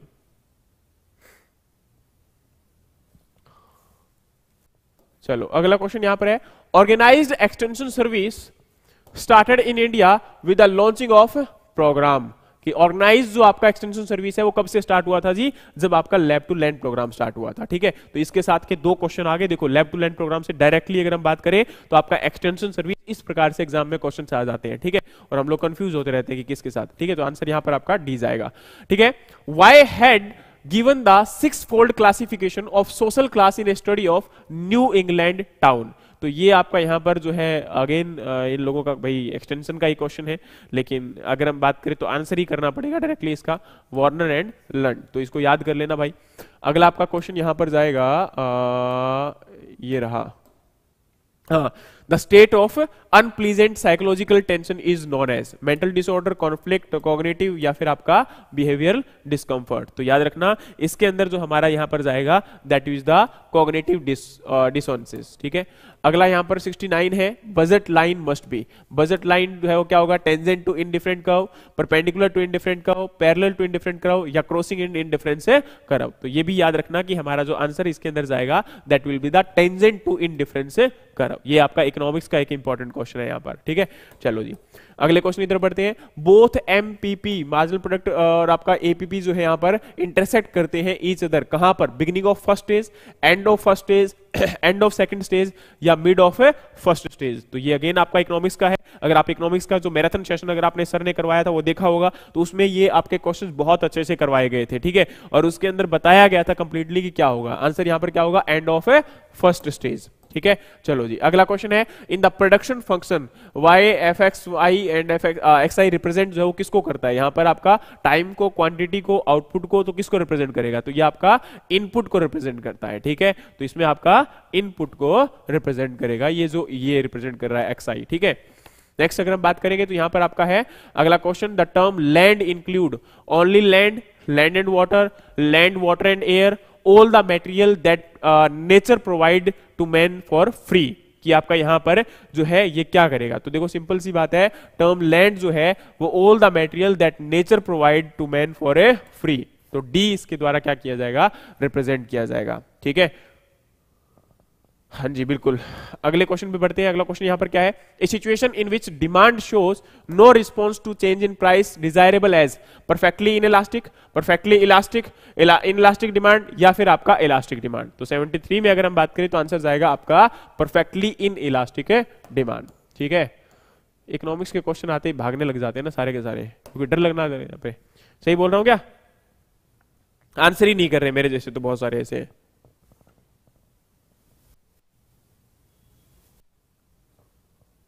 एक और बच गया क्या नीचे? सेवेंटी फोर है ना ये? हाँ ये सेवेंटी फोर भी बच गया। ये बताओ आंसर इसका।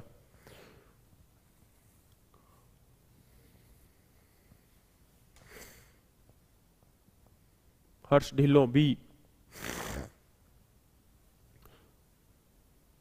देखो, इसका जो आंसर जाएगा, वो यहाँ पर क्या जाएगा? ए एक्सपेंशन पाथ ठीक है? क्या जाएगा? एक्सपेंशन पाथ ठीक है? चलो जी। अगला यहाँ पर 75 क्वेश्चन हम लोग बढ़ते हैं।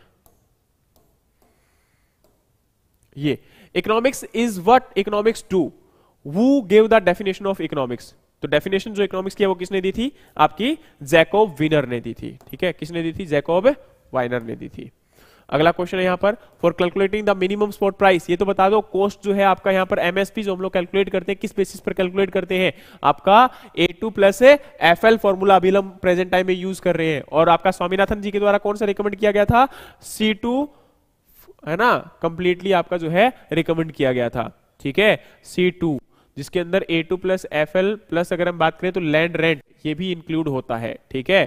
तो वहाँ पर आपका क्या है? सी टू फॉर्मूला जो है आ, आपका किसके द्वारा? एम एस स्वामीनाथन जी के द्वारा जो आपकी रिपोर्ट है स्वामीनाथन रिपोर्ट उसी में आपका आ, जो है कहीं ना कहीं तो A two plus F L recently water use efficiency maximum जो है किस सिस्टम में होगी? फ्लड में स्प्रिंकलर में ड्रिप में चेक मशीन में। ड्रिप में ये तो सिंपल सा आंसर है ठीक है? ये आंसर क्या चला जाएगा? आपका ड्रिप इरिगेशन चलो, अगला यहाँ पर क्या होगा? Kinnow mandarin is a cross of king plus willow leaf. Answer आपका 78 में बी। आसान क्वेश्चन था ये तो। अगला यहाँ पर क्वेश्चन है C I M A P is located at तो ये आपका यहाँ पर अगर हम बात करें तो आप लोग जानते होंगे कि कहाँ पर लोकेटेड है? लखनऊ में, ठीक है? Central institute of medicinal and aromatic plant next आपका है, पुषा नन्ना, एक इंप्रूव्ड वेराइटी है। किसकी? पपाया की। मुझे पता है, तुम लोग भी भागना स्टार्ट गए तो हम तो क्या करें भाई यार यहाँ पर? तो germination of seed while it remain attach with the parent source तो देखो जब जर्मिनेशन हो जाता है सीड का जब वो अटैच होता है प्लांट पार्ट के ऊपर तो उसको हम लोग क्या बोलते हैं? ओविपेरी एपोमेक्सिस विविपेरी या फिर आपका एसेप्सिस तो आंसर तो क्या जाएगा आपका? सी यानी कि विविपेरी जाएगा। ठीक है? अगले यहाँ पर क्वेश्चन बढ़ते हैं। तो सीपीसीआरआई ये आपका कहाँ पर है? तो सेंट्रल आपका आ, जो है यहाँ पर ये प्लांटेशन और समथिंग रिसर्च इंस्टीट्यूट के नाम से आता है ना सीपीसीआरआई तो ये कहाँ पर आपका? केरला में है ना? ये आपका कहाँ पर है? केरला में लोकेटेड है ठीक है? सेंटर प्लांटेशन समथिंग ऐसे करके नाम है पूरा उसका ना? ओलेरिकल्चर तो वेजिटेबल प्रोडक्शन बहुत आसान है इससे आसान हो गई क्या? ठीक है? नेक्स्ट uh, आपका है पोर्ट्रे पोर्ट्रे किससे रिलेटेड है? नर्सरी से रिलेटेड है ठीक है? अगला आपका 85 which one is the most stable kind of R N A found in cell तो मोस्ट स्टेबल जो होता है वो आपका कौन सा होता है? आर आर एन ए होता है। आंसर कर रहे हो भाई? करो यार, ऐसे मत किया करो, तुम लोग भी।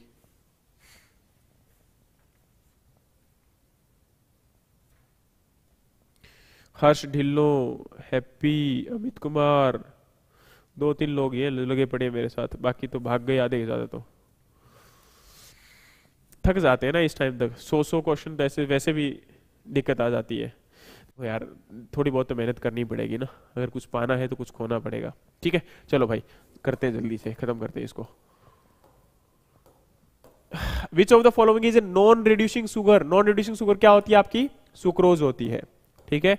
अगला है a enzyme that doesn't contain the protein इनमें से कौन सा एंजाइम है जो आपका प्रोटीन को कोज है? बोले प्रोटीन जिसके अंदर नहीं होता या प्रेजेंट नहीं होता। डीएनए लाइगेज राइबोज पेटाइलिन या फिर आपका रेनेट आंसर क्या जाएगा? राइबोजाइम बी ठीक है?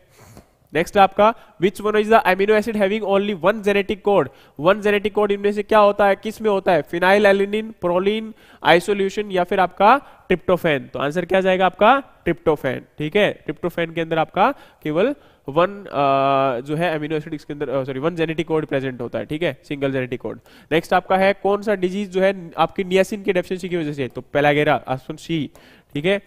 1991 ये 90 तो 90 में है substitution of purine base with a pyrimidine base is known as तो आपका जो प्यूरिन बेस है, वो पिरिमिडिन बेस के साथ अगर रिप्लेस किया जाता है तो उसको हम लोग क्या बोलते हैं? अरे भाई वास्ट नॉलेज कहाँ है? बहुत कम है अभी तक तो। अभी बहुत इंप्रूव करने की रिक्वायरमेंट है, लेकिन thank you so much for your compliment ठीक है? चलो, इस क्वेश्चन का आंसर करो। क्या आपका ट्रांसवर्जन ठीक है? अगले क्वेश्चन में बढ़ते हैं। Which of the following is a secondary metabolite तो स्टेरॉइड आपका, ठीक है? वैसे इस क्वेश्चन की अगर हम बात करें तो इसमें ना कहीं ना कहीं आपका कंफ्यूजन भी बोल देते हैं। कोई आपका जैसे लिपिड वगैरह के लिए बोला जा रहा है, लेकिन यहाँ पर आपका थोड़ा सा मैं बोलना चाहूँगा कि ये जो आंसर है, वैसे इसके अंदर परफेक्टली आप लोग जो है डी को कंसिडर कर सकते हो। Not a big deal answer आपका डी ही जाएगा इसमें, ठीक है? लेकिन कई लोगों ने वैसे बोला था तो वो आपका गलत चला जाएगा, ठीक है? नेक्स्ट आपका है 92 a haemophilic man marries a homogeneous women वो is not haemophilic what are the possibilities that their child may have haemophilia तो इसके अंदर पॉसिबिलिटीज कितनी हो सकती है हीमोफीलिया के अंदर? तो देखो, यहाँ पर आपकी ज़ीरो पॉसिबिलिटीज भी हो सकती है, लेकिन अप टू एक्सपेक्टेशन अगर हम बात करेंगे तो इसमें आंसर जो यहाँ के अकॉर्डिंग देखा जाए तो वो आपका फिर भी यहाँ पर हम लोग बोल सकते हैं कि अप टू फिफ्टी परसेंट जो है यह आपका आंसर बिल्कुल परफेक्ट हो सकता है, ठीक है? तो इसमें अगर हम बात करें तो ये आपका सी लेकिन इसमें हम लोग फिर बोलेंगे, एक क्वेश्चन ये ऐसा आया है, जिसमें हम लोग एनश्योर्ड नहीं है, और एक क्वेश्चन था जिसका आंसर हमें पता नहीं है। दो क्वेश्चन ध्यान रखना कि भाई हमने इसमें किए हैं कि जिनका आंसर हमें पता नहीं है तो परफेक्टली आपको देखना पड़ेगा। ठीक है? बाकी अगर हम बात करें तो अगला क्वेश्चन है मोस्ट कॉमनली जो प्रैक्टिस हम लोग मेथड यूज़ करते हैं वेजिटेबल ड्राइंग के लिए इंडिया के अंदर तो आपका सोलर ड्राइंग है। ठीक है? कौन सा मेथड है आपका? सोलर ड्राइंग होता है। ठीक है? चलिए, अगले मेथड की तरफ़ जाए तो आपका क्वेश्चन की तरफ़ जाए तो क्या है? Main criteria on the basis of which spiral separator separates the grain तो ये आपका जो है राउंडनेस यानी कि ऑप्शन ए बिल्कुल सही चला जाएगा। ठीक है? अगला क्वेश्चन हमारे यहाँ पर है जी, क्या instrument use for the measuring discharge is तो डिस्चार्ज जो आपका इरिगेशन वाटर हमारा यहाँ पर इसके अंदर होता है, उसके लिए तो वी नोच भी करते हैं रेक्टेंगुलर वियर भी करते हैं, आपका पार्शियल फ्लूम भी करते हैं तो आंसर आपका डी यानी कि ऑल ऑफ़ दी अबव जाएगा। अच्छा 96 की अगर हम बात करें तो क्या है? Length of gutter gunter chain तो बहुत सारे क्वेश्चन ऐसे आए हैं जो आपको टेलीग्राम के ऊपर और आपके यूट्यूब के ऊपर हम लोग जो प्रोवाइड करते हैं, उनमें से बहुत सारे क्वेश्चन आपके रिपीट हुए हैं, ठीक है? और ये भी मैंने आपको एक्जैक्टली मुझे याद आता है कि मैंने एक दिन आपको पूरा इसका गंटर चेन वगैरह जो है, इनको सबको मैंने प्रोवाइड करवाया था आपको तो ये सिक्सटी सिक्स फीट होता है, ठीक है? अगला यहाँ पर अगर हम बात करें तो 97 97 में क्या है? Best method of micro irrigation जहाँ पर आपकी हाई विंड स्पीड वकर करती है वाटर स्कैरिसिटी होती है। तो सिंपल सी बात है ड्रिप इरिगेशन देखो विंड स्पीड में हम लोग स्प्रिंकलर इरिगेशन को यूज़ नहीं कर सकते और माइक्रो इरिगेशन पूछा है तो फ्लो इरिगेशन का नाम ही नहीं है तो आंसर क्या जाएगा आपका? ड्रिप इरिगेशन ठीक है? अगला क्वेश्चन हमारा 98 appropriate mechanical measure for the controlling of soil erosion in area having the 3 to 10 percent slope तो देखो थ्री टू टेन परसेंट में क्या होता है आपका? जिंग टेरेसिंग हम लोग अडॉप्ट करते हैं। तो जिंग टेरेसिंग को स्पेसिफाई तो नहीं किया गया। यहाँ पर आपका डायरेक्टली बोला गया कि बंडिंग होगा टेंचिंग होगा टेरेसिंग होगा नन ऑफ़ दी अबव होगा। तो इसमें देखो कई जगह पे ये भी मिलता है कि बंडिंग हम लोग लेस देन टेन परसेंट पे करते हैं। लेकिन देखो बंडिंग में हम लोग क्या करते हैं? या तो लाइव बंडिंग करते हैं या आपका यहाँ पर जो है आ, क्या बोलते हैं ये ग्रेडेड बंडिंग करते हैं, या फिर हम लोग क्या करते हैं, आपका लाइव बंडिंग ग्रेडेड बंडिंग और आपका कॉन्टूर बंडिंग ठीक है? तो कॉन्टूर बंडिंग किया जाता है जी दो से छह परसेंट स्लोप पर और ग्रेडेड बंडिंग होता है जी दो से आठ परसेंट के ऊपर। लेकिन कई जगह पे दो से दस परसेंट भी इसका ग्रेडेड बंडिंग का लिखा होता है। लेकिन वो बहुत रेयर है। लेकिन नॉर्मली अगर हम बात करें तो आपका दस जो तीन से दस का एग्जैक्टली लिखा होता है, वो जिंग टेरेसिंग के लिए लिखा होता है। तो हम लोग यहाँ पर आंसर जो है जिंग टेरेसिंग को मेरे अकॉर्डिंग परफेक्टली हम लोग मानने की कोशिश करेंगे। ये आंसर आपका परफेक्ट जाएगा। ठीक है? जी। नेक्स्ट अगर हम बात करें तो अगला क्वेश्चन है sheet erosion is followed by तो सीट इरोजन के बाद क्या होता है? तो सीट इरोजन के बाद रील इरोजन रील के बाद गली गली और देखो यहाँ पर रेनड्रॉप इरोजन या फिर इसको हम स्प्लैश भी बोल सकते हैं। तो सबसे पहले स्प्लैश ही होता है। स्प्लैश के बाद आपका सेकंड नंबर पे आता है सीट ठीक है? ये आपका पहला नंबर होगा, ये दूसरा नंबर होगा, ये तीसरा होगा, ये आपका चौथा होगा और इसके बाद में रिवाइन आएगा, ये आपका पांचवा हो जाएगा और फिर आपका लैंडस्लाइडिंग जाएगा, ये आपका छड़ा चला जाएगा। ठीक है? चलो जी। फिर आपका हंड्रेड नंबर क्वेश्चन है जी कौन सा है यहाँ पर? यूनिट ऑफ़ है measurement of flowing water cubic तो ये आपका क्यूबिक मीटर पर सेकंड ठीक है? ये थे भाई आपके हंड्रेड क्वेश्चंस जो कि आपके यहाँ पर है प्रेजेंट टाइम में क्वेश्चन पूछे गए और आपको जो है इसके अंदर आंसर मिल गए होंगे, ठीक है? ये आपके साथ हेल्प करेंगे आपके एएफओ में एडीओ में डब्ल्यूओ में सीयूटी में बीए बिहार एग्रीकल्चर ऑफिसर में, हर जगह पे काम आएगा। पढ़ने की कोशिश करो, मेहनत करने की कोशिश करो डेफिनेटली तुम हर क्वेश्चन का आंसर कर सकते हो, ठीक है? अब यहाँ पर अनुविद प्रदीप ने क्वेश्चन पूछा है कि सर आप एएफओ और एनिमल हस्बेंड्री की बुक रिकमेंड कर सकते हो देखो, आपका जो एएफओ की बुक की अगर हम बात करें एनिमल हस्बेंड्री के लिए सिंपल सी बात है टीएनयू के या आईसीआर के नोट्स पढ़ लो बेटा। आपका सारा उसमें से ही आता है, उसके बाहर कभी कुछ नहीं आता है। ये ये गारंटेड है आपका, ठीक है? अब मैं आपको बहुत बड़ी बड़ी बुक्स रिकमेंड करूँ और ये सब करूँ तो वो देखो एक गलत बात है। बाकी मैं बोलूँ कि मेरे नोट्स तो देखो वो एक अतिशयोक्ति हो जाएगी, गलत बात हो जाएगी। लेकिन यहाँ पर मैंने फ्री का सोर्स आपको रिकमेंड किया है ICR e course, e agri के नाम से सर्च करो, डायरेक्टली वहाँ पर आ जाएगा। पूरा उसमें कंटेंट जो है, उसी में से क्वेश्चन मैक्सिमम पूछ लिए जाते हैं भाई साहब, ठीक है? तो आपको फ्री का सोर्स रिकमेंड कर रहा हूँ तो उसमें आप लोग मेहनत करिए, पढ़िए, बाकी जहाँ भी किसी भी बच्चे को कोई दिक्कत आती है, पढ़िए यार। और दूसरा, कोई भी चीज़ गलत हो जाती है एग्ज़ाम में तो उसको एक्सेप्ट करना सीखिए। उसको सीखना सीखिए कि हाँ हमसे गलत हो गया, हम उसको चेंज करेंगे, ठीक है? और बाकी, आप कहीं भी किसी भी प्रकार से, हमें तो गलत बोल सकते हैं, उसमें किसी प्रकार की कोई दोहराई नहीं है, क्योंकि तुम लोग फ्री हो, वो आप लोग बिल्कुल सही बात है कि अपनी राय रखने का हक तुम लोग रखते हो। लेकिन एक बात ज़रूर बोलूँगा कि मेहनत करो, आगे बढ़ो, ज़िंदगी में बहुत सारी चीज़ें बाकी है और अपने आप को डिमोरलाइज मत करो। सबसे बड़ी चीज़ ये है, ठीक है? और आगे बढ़ते रहो, मेहनत करते रहो। थैंक यू सो मच जय हिंद, जय भारत भाई। चलिए थैंक यू